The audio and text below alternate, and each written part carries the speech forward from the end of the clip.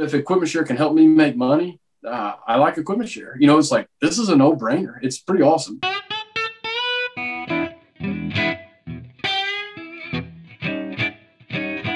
the utilization ties right into the job cost. And it lets us know how much time we're wasting by moving machines around, how much of the machine time on site we're actually utilizing, or if we have too many machines. There could be five machines there for three months, and we may have could have gotten done with four of them for, for two of the months.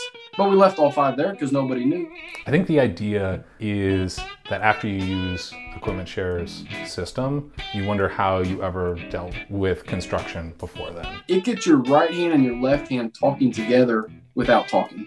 It goes back to the way I was raised. And business is simple. Make more than you spend.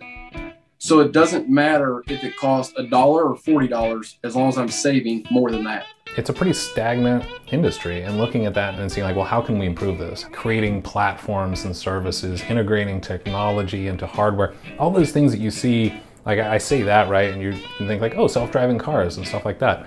Like we don't have that in construction. And they've got planes. You can hit a button on now and they will find the airport check the weather make an emergency call and land the airplane and yet we have guys out here struggling with a bulldozer. I'm like, are you kidding me? Looking at that and seeing something that stayed the same for so long, I would say the EquipmentShare is really one foot in the future.